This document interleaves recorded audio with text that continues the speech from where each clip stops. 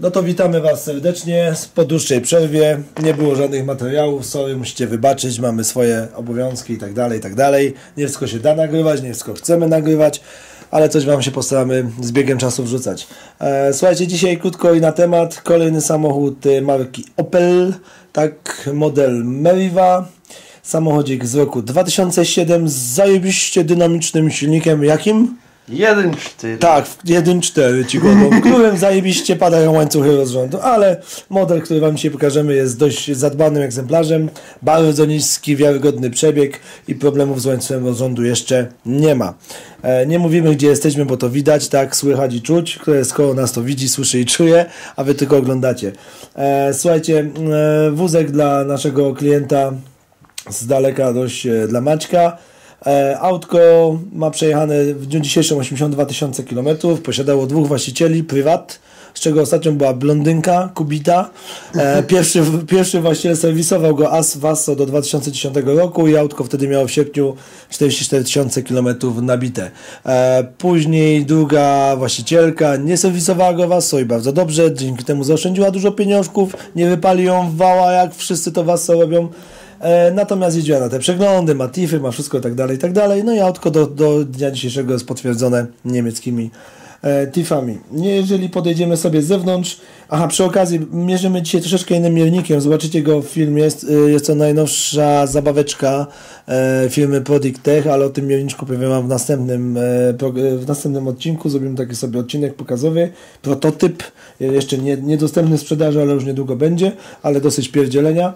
A więc tak, samochód po takich delikatnych przejściach, można powiedzieć, szkodach parkingowych, malowane trzy elementy, czyli prawy przedni błotnik, e, prawe przednie drzwi i tylna lewa część, tam ćwiartka przy drzwiach e, pasażera i ten cały, po- powiedzmy, tylne nadkole.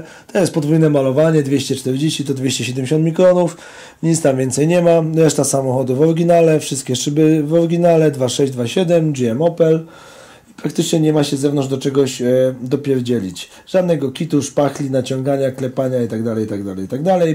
Ten przedni prawy botnik był demontowany w celach tam zamalunkowych, co widać, gołym okiem, nie trzeba nawet fachowca do tego, ale jest to zrobione wszystko fajnie, spasowane. E, nie ma się do czego przywalić. Natomiast e, tak, środek samochodu po otwarciu drzwi to Kamil otwiera, Kamil kręci. Co powiesz o samochodzie w środku? No trzeba przyznać, że jak na drugiego właściciela, którym była kobieta, oczywiście nie obrażając ich, jest całkiem zadbany, nie ma jakich tam większych przetarć. yy, Wszystkie przyciski, nie przyciski, wszystkie gadżety, bajery ładnie się świecą, działają. Tego nie, Wszystkim lewarek nie wywalony, nie? Nie wypieprzony od pazurów, kierownica nie wyciarana, pedały nie wyciorane i nie ma tych dziur w dywaniku od szpilek, nie? Pewnie w tych Japonkach jeździła.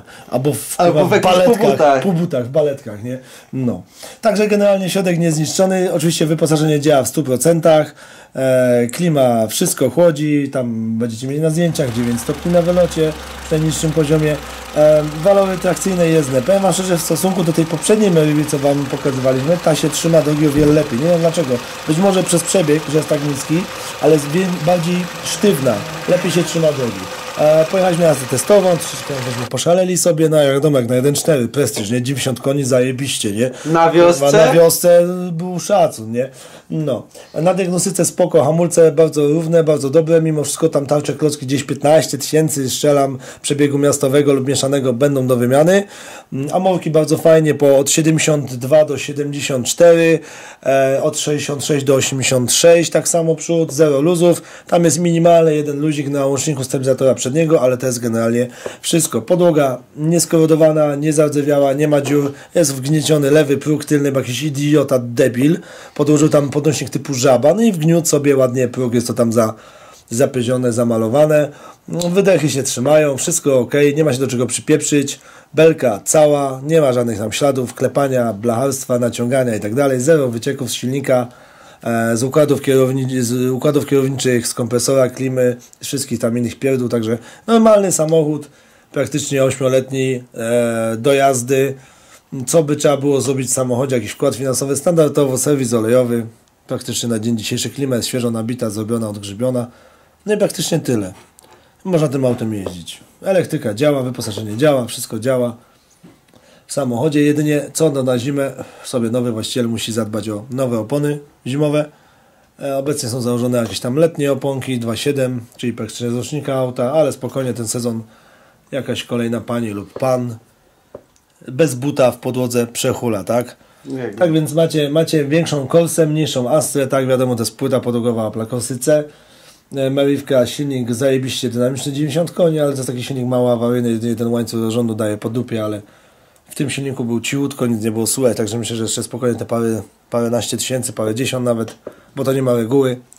Nowy właściciel tym autem przejeździ, mimo że auto ma malowane 3-4 elementy, nie dyskwalifikuje tego auta z dalszej jazdy. No co z tego, że ma malowane? No nie ma kitu, nie ma szpachli, nie ma nic, nic złego, tak? No. Pytanie, kto takim autem będzie jeździł? Chyba jakaś baba. Kobieta. To nie jest OPC, zwykła Mariva, nie? Wygląda jak wygląda, ale, ale, ale jeździ. Aha, to ma zajebisty kolor. Z163 się nazywa. Kod tego koloru. Cokolwiek to oznacza, nie? No auto tak dość po, popularnie, podstawowo wyposażone. Klima, podłokietnik, halogeny, ESP jest, ABS, ma z tyłu, z przodu, cztery poduchy, szyby elektryczne przód, lusterka, central, wiadomo, i takie tam e, pierdoły, mury z multifunkcja na, na kierownicy, e, EPC, wspomaganko, radio, CD, no i 15 koła, także takie, takie były powiedzmy standardowe wyposażenie tej Meriwki. Takie autko kosztuje niecałe 15 tysięcy, oczywiście do tego wiadomo opłaty. No. My do autka nic nie mamy, nie można się do niczego tutaj przypieprzyć, jak na 8 lat nie jest zniszczone, nie jest w miarę zadbane, wkład finansowy praktycznie na dzień dobry żaden, w przyszłości, tak mówię, hamulce, e, może z tym rozrządem wyjdzie albo i nie wyjdzie i myślę, że nowy właściciel będzie zadowolony. To tyle na dzisiaj. Spróbujemy Wam pokazać za niedługo dość ciekawy samochód. Też to będzie Opel, żeby Was wkurzyć, ale będzie taki dość fajny. E, Natomiast e, szykują się jeszcze dwa fajne filmiki. Pokażę Wam najnowszy model miernika lakieru, który jeszcze nie jest w sprzedaży oraz tą słynną auto lawetę, którą zaprezentujemy Wam w przyszły weekend i którą będzie można podziwiać na żywo w Warszawie na placu Defilat, gdzie serdecznie zapraszamy. To dziękujemy i do zobaczenia. Cześć. Cześć, hej. To wszystko nagramy. Co się stało? Chyba paliwa zabrakło. No, ale u mnie też nie ma paliwa. No, Ty, ale tu tam, też, tam jest, na tu też nie ma paliwa w tym aucie. A na górkę dojedziecie, patrzcie jak ładna stacja tam. Niemiec płakał jak spuszczał. No